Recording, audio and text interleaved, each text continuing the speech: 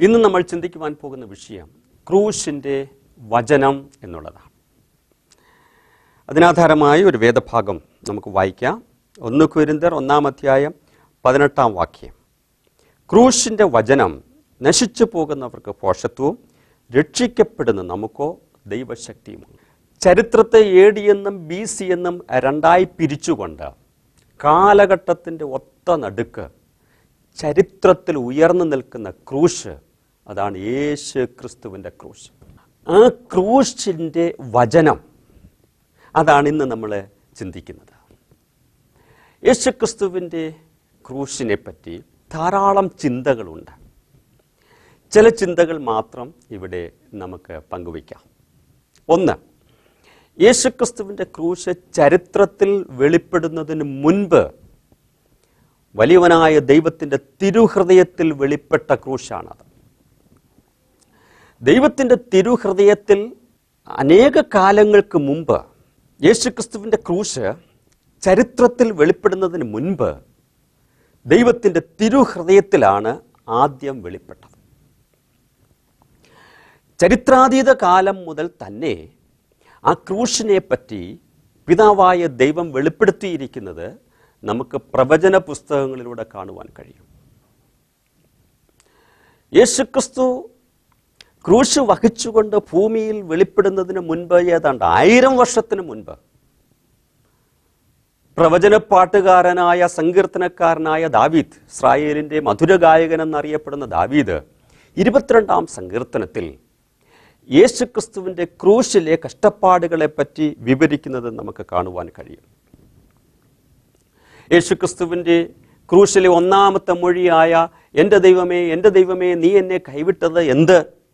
എന്ന് പറഞ്ഞ സങ്കീർത്തനം തുടങ്ങുകയും അവസാനത്തെ മൊഴിയായി സകലവും നിവൃത്തിയായി എന്ന് പറഞ്ഞുകൊണ്ട് ആ സങ്കീർത്തനം അവസാനിക്കുകയും ചെയ്യുന്നു. ചരിത്രത്തിൽ വെളിപ്പെടുന്നതിന് ആയിരം കൊല്ലത്തിന് മുൻപ് പ്രവാചകനിലൂടെ പിതാവായ ദൈവം യേശു ക്രിസ്തുവിന്റെ ക്രൂശിനെ വെളിപ്പെടുത്തുന്നു. ബി സി അറുന്നൂറുകളിൽ ജീവിച്ച പ്രവാചകനായ യശയ്യാവ് തന്റെ അമ്പത്തി മൂന്നാം അധ്യായത്തിൽ യേശുക്രിസ്തുവിന്റെ കഷ്ടാനുഭവങ്ങളെയും ക്രൂശിനെയും പറ്റി വിവരിക്കുന്നുണ്ട്. അപ്പോൾ യേശു ക്രിസ്തുവിന്റെ ക്രൂശ് ഒരു അഭിചാരിത സംഭവമല്ല. പൊടുന്നനവേ ഉണ്ടായതല്ല. വലിയവനായ ദൈവത്തിന്റെ തിരുഹൃദയത്തിൽ ദൈവം ആദ്യം മെനഞ്ഞെടുത്ത ക്രൂശാണ് ദൈവം പദ്ധതി ചെയ്തെടുത്ത ക്രൂശാണ് പിന്നീട് ക്രിസ്തുവേശുവിൽ വെളിപ്പെട്ടു വന്നത് എന്ന് നമുക്ക് കാണുവാൻ കഴിയും. ഇവിടെ നിന്ന് ഞാൻ ഒരു ചിന്ത പറഞ്ഞുകൊള്ളട്ടെ. ക്രൂശ് കഷ്ടങ്ങളുടെയും പീഡാനുഭവങ്ങളുടെയും ഉദാഹരണമാണ്. നമുക്കും ഓരോ ക്രൂശുകളുണ്ട്. നമ്മളും വേദനയിലൂടെയും കഷ്ടങ്ങളിലൂടെയും കടന്നു പോകുന്നവരാണ്. അങ്ങനെയാണെങ്കിൽ നമ്മുടെയും വേദനകളും കഷ്ടങ്ങളുമാകുന്ന ക്രൂശ് അവിചാരിതമായി വെളിപ്പെടുന്നതല്ല. അതും ദൈവത്തിന്റെ തിരുഹൃദയത്തിൽ പ്ലാൻ ചെയ്ത് ദൈവം രൂപപ്പെടുത്തിയെടുത്തിരിക്കുന്ന ക്രൂശ്. അതിന്റെ സമയത്ത് ദൈവം അത് നമ്മുടെ ജീവിതത്തിൽ വെളിപ്പെടുത്തുന്നു എന്ന് മാത്രമേ ഉള്ളൂ. അങ്ങനെ ദൈവം അറിഞ്ഞുകൊണ്ട് ദൈവം പണിതെടുത്ത ഒരു വേദനയാണ് കഷ്ടതയാകുന്ന ക്രൂശാണ് നമുക്ക് ലഭ്യമാകുന്നതെങ്കിൽ ആ കഷ്ടതകളുടെയും വേദനകളാകുന്ന ആ ക്രൂശിന്റെയും പുറകിൽ ദൈവത്തിന് പദ്ധതിയില്ലാതിരിക്കുമോ? തന്റെ പുത്രനായ യേശു ക്രിസ്തുവിന് ഒരു ക്രൂശ് അനുഭവിക്കുവാൻ പിതാവായ ദൈവം അനുവദിച്ചപ്പോൾ അതിന്റെ പുറകിൽ വലിയ വലിയ പദ്ധതി ഉണ്ടായിരുന്നത് പോലെ നിശ്ചയമായും തന്റെ ജനമായ നമ്മളുടെയും വേദനകളുടെ പുറകിൽ ക്രൂശിന്റെ പുറകിൽ ദൈവത്തിനൊരു പദ്ധതി ഉണ്ടായിരിക്കും. അങ്ങനെയാണെങ്കിൽ ഈ ദിവസങ്ങൾ നമ്മൾ അനുഭവിക്കുന്ന വേദനകളുടെയും ക്രൂശിന്റെയും മുൻപിൽ നമ്മളെ തന്നെ സമ്പൂർണമായി സമർപ്പിച്ചു കൊടുക്കുക ദൈവഹിതത്തിനായി താഴ്ത്തിക്കൊടുക്കുക ദൈവം തക്ക സമയത്ത് നമ്മുടെ ഈ കഷ്ടതയുടെ പുറകിലുള്ള ദൈവിക പദ്ധതികൾ വെളിപ്പെടുത്തി നമ്മളെ മാനിക്കുന്ന ദൈവമാണ്. രണ്ടാമത് ശ്രദ്ധിക്കുക. ക്രിസ്തുവിനെ വഹിച്ചിരിക്കുന്ന ആ പച്ചമര കുരിശിലല്ല നമ്മുടെ പ്രത്യാശയും നമ്മുടെ അഭിമാനവും. പിന്നെയോ ആ ക്രൂശിൽ യാഗമായി കിടക്കുന്ന ക്രിസ്തുവിലാണ് നമ്മുടെ അഭിമാനവും നമ്മുടെ പ്രത്യാശയും. കുരിശിനല്ല ശക്തിയുള്ളത്. കുരിശിൽ യാഗമായി കിടക്കുന്ന ക്രിസ്തുവിനാണ് ശക്തിയുള്ളത്. ക്രിസ്തുവിന്റെ വസ്ത്രത്തിനല്ല ശക്തിയുള്ളത് ക്രിസ്തുവിനാണ് ശക്തിയുള്ളത്. പന്ത്രണ്ട് സംവത്സരമായ രക്തസ്രവക്കാരിയായിരുന്ന ഒരു സ്ത്രീ. വൈദ്യന്മാരാൽ ഏറിയൊന്ന് സഹിച്ച് സൗഖ്യമില്ലാതെ ഭാരപ്പെട്ടിരുന്ന സ്ത്രീ ജനക്കൂട്ടത്തിന്റെ ഇടയിൽ നിന്ന് യേശുവിന്റെ പുറകിൽ ആരും അറിയാതെ വന്ന് വസ്ത്രത്തിന്റെ അഗ്രത്തിൽ തൊട്ട മാത്രയിൽ തന്നെ സൗഖ്യമായി. അതിനെപ്പറ്റി യേശു കർത്താവ് അതിനുശേഷം പറയുന്ന കാര്യം എന്നെ തൊട്ടത് ആര്? എന്നെ ഒരാൾ തൊട്ടു. എങ്കിൽ നിന്ന് ശക്തി പുറപ്പെട്ടു. അതാ യേശു കർത്താവ് പറയുന്നത്. നോക്കിയപ്പം എന്റെ വസ്ത്രത്തിൽ നിന്ന് ശക്തി പുറപ്പെട്ടെന്നല്ല യേശു കർത്താവ് പറയുന്നത്. എങ്കിൽ നിന്ന് ശക്തി പുറപ്പെട്ടു. അപ്പോൾ വസ്ത്രത്തിനല്ല ശക്തി യേശു ക്രിസ്തുവിനാണ് ശക്തി. ക്രൂശിനല്ല ശക്തി ക്രൂശിൽ യാഗമായി കിടക്കുന്ന ക്രിസ്തുവിനാണ് ശക്തിയുള്ളത്. ആ ശക്തി നമ്മുടെ ഏത് പ്രശ്നങ്ങൾക്കും പരിഹാരമാകയാൽ ക്രൂശിതനായി കിടക്കുന്ന യേശു ക്രിസ്തുവിലേക്ക് നമ്മൾ നോക്കണം. ക്രൂശിന്റെ വചനം നമ്മളിവിടെ വായിച്ചത് നശിച്ചു പോകുന്നവർക്ക് ഭോഷത്വം രക്ഷിക്കപ്പെടുന്ന നമുക്കോ ദൈവശക്തിയാകും. അനേകർക്ക് ഭോഷത്വമാണ് ഈ വചനം ക്രൂശിന്റെ വചനം. ഈ ഭാഗം താഴോട്ട് വായിക്കുമ്പോൾ ക്രൂശിനോടുള്ള മൂന്ന് തരം മനോഭാവങ്ങൾ നമുക്ക് കാണുവാൻ കഴിയും. ഇരുപത്തിരണ്ട് മുതൽ ഇരുപത്തി അഞ്ച് വരെയുള്ള വേദഭാഗങ്ങളിൽ യഹൂദന്മാർ അടയാളം ചോദിക്കുകയും യവനന്മാർ ജ്ഞാനമന്വേഷിക്കുകയും ചെയ്യുന്നു. ഞങ്ങളോ ക്രൂശിക്കപ്പെട്ട ക്രിസ്തുവിനെ പ്രസംഗിക്കുന്നു. യഹൂദന്മാർക്ക് ഇടർച്ചയും ജാതികൾക്ക് ഫോഷത്വമെങ്കിലും യഹൂദന്മാരാകട്ടെ യവനന്മാരാകട്ടെ വിളിക്കപ്പെട്ട എവർക്കും ദൈവശക്തിയും ദൈവജ്ഞാനവുമായി ക്രിസ്തുവിനെ തന്നെ. ചിലർക്ക് ഇത് ഇടർച്ചയാണ് ആർക്കാണ് ഇടർച്ചയായി എന്ന് എഴുതിയിരിക്കുന്നത്? യഹൂദന്മാർക്ക്. യഹൂദന്മാർക്ക് ഈ ക്രൂശിന്റെ വചനം ഇടർച്ചയായി തീർന്നു. കാരണം എന്താ ഇരുപത്തിരണ്ടാം വാക്യത്തിൽ അവർ അടയാളം അന്വേഷിക്കുകയാണ്. യഹൂദന്മാരെ പറ്റി നമുക്കറിയാം ദൈവജനമായ ഇസ്രായേൽ മിശ്രയിമിൽ നിന്ന് യാത്ര പുറപ്പെടുന്നതിന് മുമ്പും മുതൽ തന്നെ അത്ഭുതങ്ങളും അടയാളങ്ങളും കണ്ട് യാത്ര ചെയ്തവരാണ്. അവരുടെ എല്ലാ കാര്യങ്ങളുടെയും മുൻപിൽ ദൈവം ഒരു അത്ഭുതം കാണിക്കും. ദൈവം ഒരു അടയാളം കാണിക്കും. ലോകത്തിൽ ഏറ്റവും കൂടുതൽ അടയാളങ്ങളും അത്ഭുതങ്ങളും കണ്ടിട്ടുള്ളവരും അനുഭവിച്ചിട്ടുള്ളവരും ഈ യഹൂദന്മാരാണ് അതുകൊണ്ട് പിന്നത്തേതിലും ദൈവികമായ എന്തെങ്കിലും ഒരു കാര്യം പറഞ്ഞു കഴിഞ്ഞാൽ അവർക്ക് ഉടനെ അടയാളം കാണും. അടയാളം കണ്ടില്ലെങ്കിൽ അവർ വിശ്വസിക്കത്തില്ല. യേശുക്രിസ്തുവിന്റെ ക്രൂശിന്റെ മുമ്പിൽ നിന്നും യഹൂദന്മാർ വിളിച്ചു പറഞ്ഞത് ഇതാണ്. നീ ദൈവത്തിന്റെ പുത്രനെങ്കിൽ ഈ ക്രൂശിൽ നിന്ന് ഇറങ്ങി വാ. നീ യഹൂദന്മാരുടെ രാജാവാ ആകുന്നു എങ്കിൽ ഈ ക്രൂശിൽ നിന്ന് ഇറങ്ങി വരട്ടെ. ഞങ്ങൾ നിന്നിൽ വിശ്വസിക്കാം. ക്രൂശിൽ നിന്ന് ഇറങ്ങി വരുന്ന ഒരു അത്ഭുതം കാണിച്ചാൽ ഞങ്ങൾ വിശ്വസിക്കാം. യേശു ക്രിസ്തുവിന്റെ ക്രൂശിൽ അങ്ങനെ ഒരു അത്ഭുതം നടന്നില്ല. അതുകൊണ്ട് അവരെല്ലാവരും ഇടറിപ്പോയി. അവർ ഈ ക്രിസ്തുവിൽ വിശ്വസിക്കുവാൻ താല്പര്യപ്പെട്ടില്ല. യേശു ക്രിസ്തു ആ ക്രൂശിൽ നിന്ന് ഇറങ്ങി വന്നിരുന്നെങ്കിൽ യേശു ക്രിസ്തു ദൈവപുത്രനാണെന്നും യേശു ക്രിസ്തു യഹൂദന്മാരുടെ രാജാവാണെന്നും അവർ വിശ്വസിക്കുമായിരുന്നു. പക്ഷേ അന്ന് ക്രിസ്തു വന്നിരുന്നെങ്കിൽ ക്രിസ്തു എന്റെ രക്ഷകനായി തീരുകയില്ലായിരുന്നു മാനവരാശിയുടെ പാപത്തിന് പരിഹാരമായി തീരുകയില്ലായിരുന്നു ഈ വിവരം അവർക്ക് ഗ്രഹിക്കുവാൻ കഴിഞ്ഞില്ല. ക്രൂശിൽ ഒരടയാളം കാണാതിരുന്നത് കൊണ്ട് ക്രൂശ് അവർക്ക് ഇടർച്ചയായിപ്പോയി. രണ്ടാമത് ഇവിടെ എഴുതിയിരിക്കുന്നു ചിലർക്ക് അത് ഫോഷത്വമാണ്. അത് ഫോഷത്വമായത് ആർക്കാണ്? യവനന്മാർ. അവർ ജ്ഞാനവാദികളാണ്. ഗ്രേക്കർ. തത്വസംഹിതയുടെ ഈറ്റില്ലമാണ് ഗ്രീസ്. അവർ എല്ലാ കാര്യങ്ങളും അവരുടെ മുമ്പിൽ വരുന്ന എല്ലാ കാര്യങ്ങളും അവരുടെ ബുദ്ധിമണ്ഡലത്തിൽ അരിച്ച് ഒരരിപ്പ പോലെ അരിച്ച് അതിനകത്ത് എന്തെങ്കിലും തടയുന്ന ജ്ഞാനമുണ്ടെങ്കിൽ അവർ വിശ്വസിക്കുമായിരുന്നു. അങ്ങനെയുള്ള ജ്ഞാനം ആ ജ്ഞാനത്തിന്റെ കണ്ണാടി വെച്ചാണ് അവർ ഈ ക്രൂശിനെ നോക്കിയത്. ക്രൂശിൽ തൂങ്ങിക്കിടക്കുന്ന യേശു ക്രിസ്തുവിനെ അവർ ജ്ഞാനത്തിന്റെ കണ്ണാടി വെച്ച് നോക്കിയപ്പോൾ അവർക്കൊന്നും മനസ്സിലായില്ല. അവരുടെ ബുദ്ധിമണ്ഡലത്തിൽ തങ്ങി നിൽക്കുന്ന ഒരു ജ്ഞാനത്തിന്റെ പ്രത്യേക വസ്തുതകളും യേശു ക്രിസ്തുവിന്റെ ക്രൂശിൽ അവർക്ക് കാണുവാൻ കഴിഞ്ഞില്ല. അതുകൊണ്ട് ക്രൂശിന്റെ വചനം അവർക്ക് ഭോഷത്വമായി പോയി. ദൈവികമായ വെളിപ്പാടുകൾ ഒരിക്കലും നമ്മുടെ ബുദ്ധിയിൽ മനസ്സിലാകുന്നതല്ല. നമ്മൾ വളരെ ചിന്തിക്കണം ആ വിഷയത്തെപ്പറ്റി. സ്വർഗത്തിലെ ദൈവം ജ്ഞാനസമ്പൂർണനാണ്. സകല ജ്ഞാനവും അറിവുകളും ആ ദൈവത്തിൽ നിന്നാണ് ഉടലെടുക്കുന്നത്. ജ്ഞാനത്തിന്റെ ഏറ്റവും ടോപ്പാണ് ദൈവം. ദൈവത്തിൽ നിന്നാണ് സകല ജ്ഞാനവും വെളിപ്പെട്ടു വന്നത്. ആ സർവജ്ഞാനിയായ ദൈവം ദൈവം ഒരു പദ്ധതി തയ്യാറാക്കുകയോ ദൈവം ഒരു വചനം പറയുകയോ ചെയ്താൽ അത് ദൈവത്തിന്റെ ആ സർവജ്ഞാനത്തിൽ നിന്നാണ് പറയുന്നത്.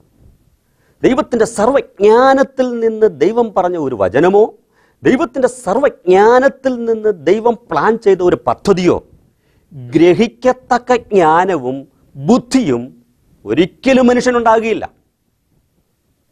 കാരണം ദൈവത്തിന്റെ ജ്ഞാനത്തിൽ നിന്ന് വെളിപ്പെട്ട കോടാനുകോടി സൃഷ്ടിജാലങ്ങളിലെ ഒരു കൊച്ചു സൃഷ്ടി മാത്രമാണ് ഈ കൊച്ചു മനുഷ്യൻ.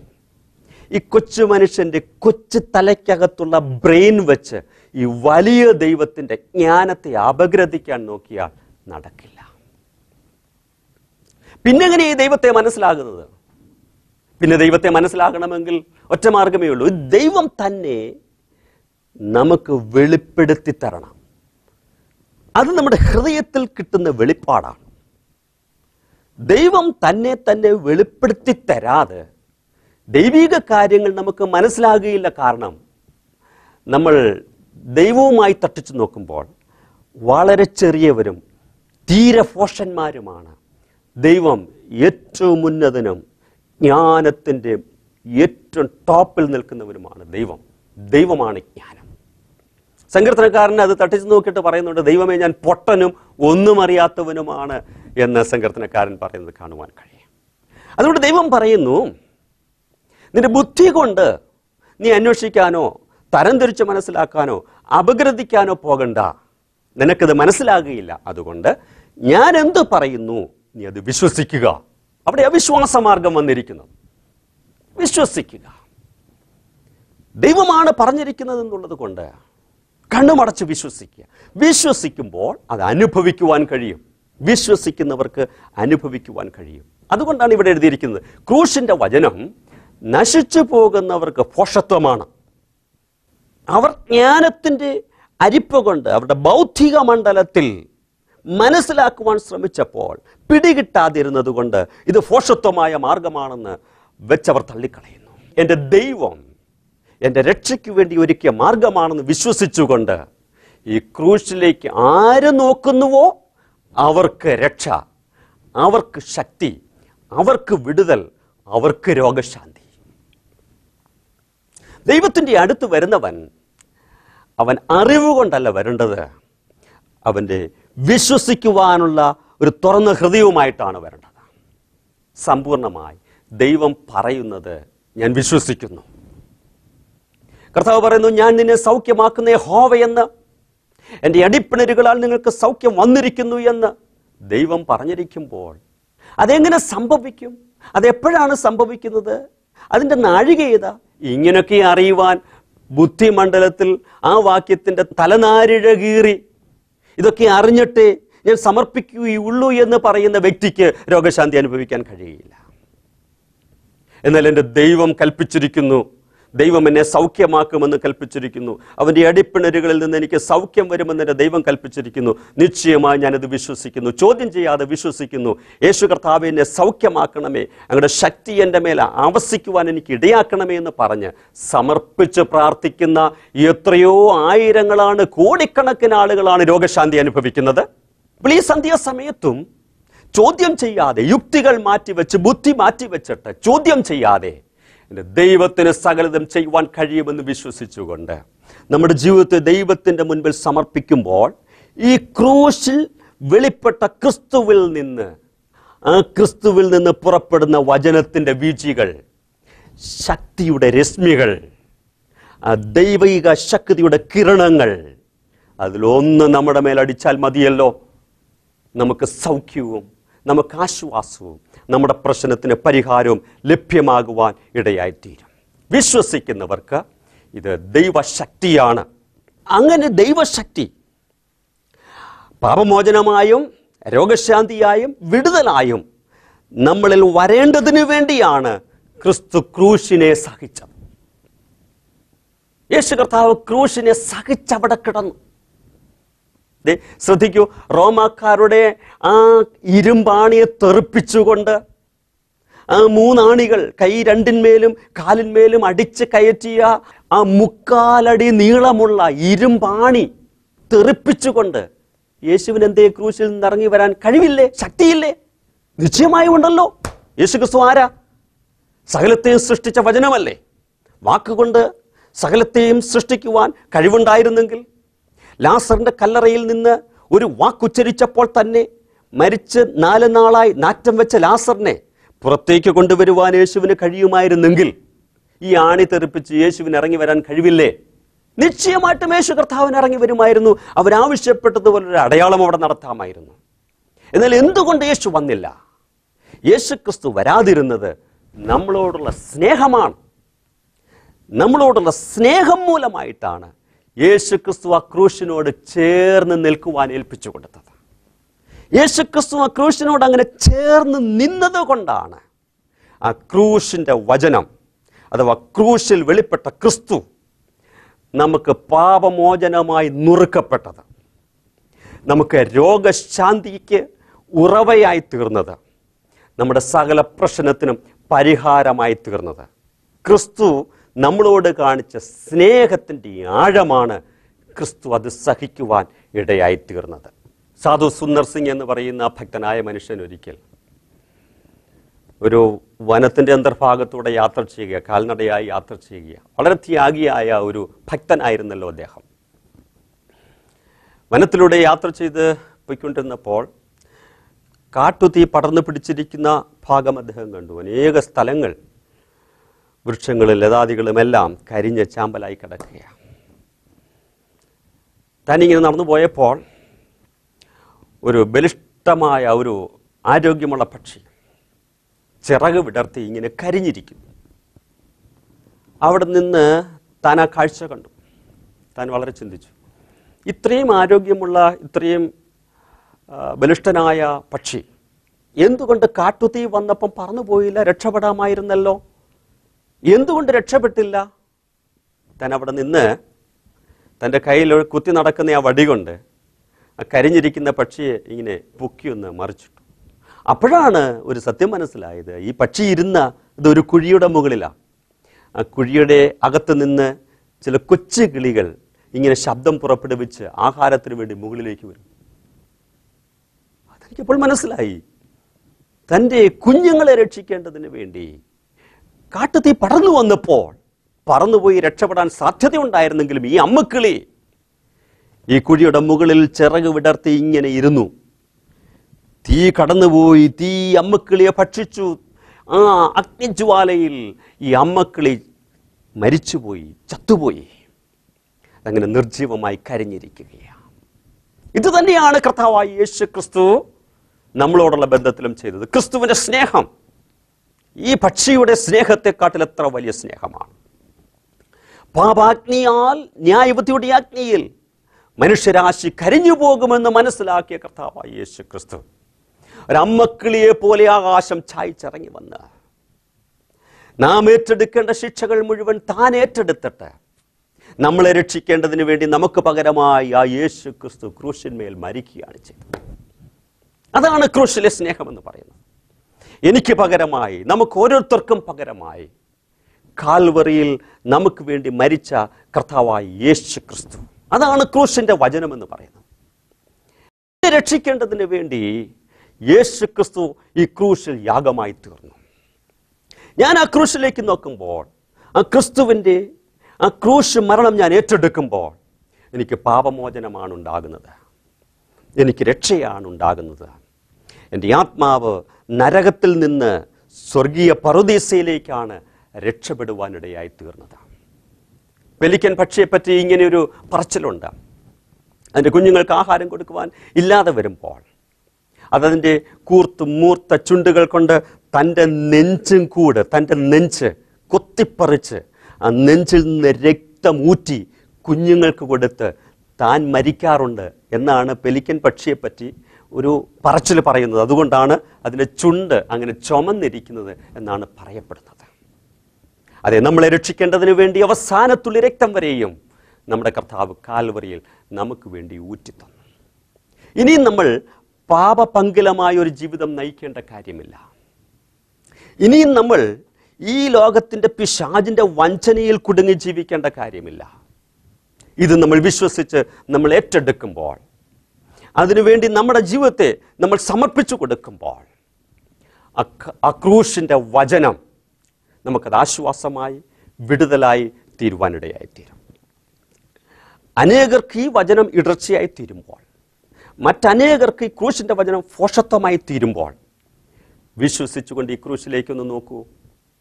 വിശ്വസിച്ച് ഈ ക്രൂശിൽ യാഗമായി കിടക്കുന്ന കർത്താവായ യേശു ക്രിസ്തുവിലൂടെ എന്റെ സകല പ്രശ്നങ്ങൾക്കും പരിഹാരമുണ്ടെന്നും എന്റെ പാപങ്ങൾ മായ് മായ്ക്കപ്പെടുമെന്നും ഞാൻ ഈ ലോകത്തിൽ എന്റെ ജീവനെ വിടുമ്പോൾ എന്റെ ആത്മാവിന് സ്വർഗരാജ്യത്തിൽ എത്തുവാൻ കഴിയുമെന്ന് വിശ്വസിച്ചുകൊണ്ട് ക്രൂശിലേക്ക് നോക്കുന്ന മാത്രയിൽ നമുക്ക് വിടുതലും രക്ഷയും കർത്താവ് തരും. താല്പര്യമുണ്ടോ നമ്മുടെ പാപം എത്ര കടിഞ്ചുവപ്പായിരുന്നാലും അത് ഹിമം പോലെ വെളുപ്പിച്ച് നമ്മളെ മറ്റൊരു വ്യക്തിയാക്കുവാൻ യേശു കർത്താവ് നമ്മളെ ക്ഷണിക്കുകയാണ്.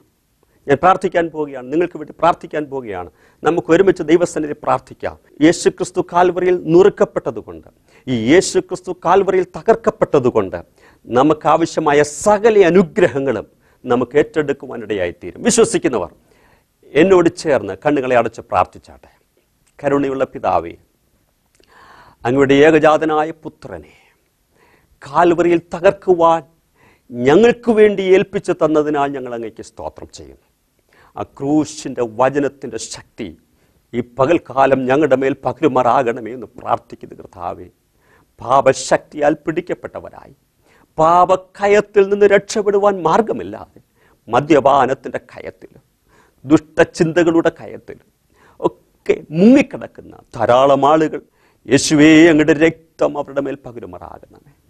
യേശു കർത്താവെ ഞങ്ങൾ വിശ്വസിക്കുന്നു. ഈ സമയത്ത് തന്നെ അവിടുത്തെ വിലയേറിയ രക്തം അവരുടെ മേൽ പകർന്നു അവരുടെ പാപങ്ങൾക്ക് മോചനം കൊടുക്കണമേ. അവരുടെ ആസക്തിയിൽ നിന്ന് ദുഷിച്ച ആസക്തിയിൽ നിന്ന് ഇപ്പോൾ തന്നെ അവർ വിടുവിക്കുമാറാകണമെന്ന് പ്രാർത്ഥിക്കുന്നു. കർത്താവെ വിവിധ രോഗങ്ങളാൽ ഭാരപ്പെട്ട് വിവിധ ആശുപത്രിയിൽ കിടക്കുന്നവർ ഭവനങ്ങളിൽ ആയിരിക്കുന്നവർ അവരെ ഓർത്തുന്ന പകൽക്കാലം അപേക്ഷിക്കുന്നു പ്രാർത്ഥിക്കുന്നു. എല്ലാ രോഗശക്തികളുടെ മേലും എന്റെ കർത്താവ് ജയമെടുക്കുമാറാകണമെന്ന് പ്രാർത്ഥിക്കുന്നു. കർത്താവെ ആശയറ്റവരായി നിരാശയോടുകൂടെ കണ്ണുനീരോടുകൂടെ ഈ സമയത്ത് പ്രാർത്ഥിക്കുന്ന ധാരാളം ആളുകളുണ്ടല്ലോ. ഡോക്ടർമാർ കൈകളെ മലർത്തി നിസ്സഹായരായി. ഡോക്ടർമാർ മുമ്പിൽ നിൽക്കുന്ന രോഗികളുണ്ട് കർത്താവെ. ഈ സമയത്ത് തന്നെ പരമവൈദ്യനായി അവരുടെ അടുത്തേക്ക് ഇറങ്ങി വന്ന് അവരുടെ വചനത്തിന്റെ ശക്തി അവരുടെ മേൽ പകർന്ന് കർത്താവെ ഇവരെ സൗഖ്യമാക്കുമാറാകണമേ എന്ന് പ്രാർത്ഥിക്കുന്നു. അങ്ങയുടെ മക്കൾ സൗഖ്യമാകട്ടെ കർത്താവെ. അങ്ങയുടെ ജനം വിടുതൽ പ്രാപിക്കട്ടെ കർത്താവെ. അങ്ങ് അവരെ തൊട്ടുകൊണ്ടിരിക്കുകയാൽ നന്ദിയോടെ സ്തോത്രം. അങ്ങ് അവരെ വിടുവിക്കുന്നതിനാൽ ഞങ്ങൾ അങ്ങേക്ക് സ്തോത്രം ചെയ്യും. പ്രാർത്ഥന കിടന്നതിനാൽ സ്തോത്രം. യേശു കർത്താവിന്റെ ധന്യമായ നാമത്തിൽ തന്നെ. എല്ലാ ഞായറാഴ്ചയും രാവിലെ പത്ത് മണി മുതൽ പന്ത്രണ്ട് മണി വരെ. എറണാകുളം പോണേക്കരയിൽ ഞങ്ങളുടെ ആരാധന നടക്കുന്നു. നിങ്ങളെല്ലാവരെയും ആരാധനയിലേക്ക് സ്വാഗതം ചെയ്യുകയാണ് ആരാധനയിൽ. കൂടുതൽ സമയങ്ങൾ ഞങ്ങൾ വചനത്തിനായി വേർതിരിക്കുന്നു. ധാരാളം രോഗികൾക്ക് വേണ്ടി പ്രാർത്ഥിക്കുന്നു. അനേകരും വിടുതൽ പ്രാപിക്കുന്നു. കടന്നു വരിക അനുഗ്രഹം പ്രാപിക്കുക. ദൈവമായ കർത്താവ് നമ്മളെ സഹായിക്കട്ടെ. വീണ്ടും അടുത്ത ആഴ്ചയിൽ ഇതേ സമയം ഇതേ ചാനലിൽ കാണാം. അതുവരെയും വലിയവനായ ദൈവം നമ്മെല്ലാവരെയും സഹായിക്കുമാറാകട്ടെ.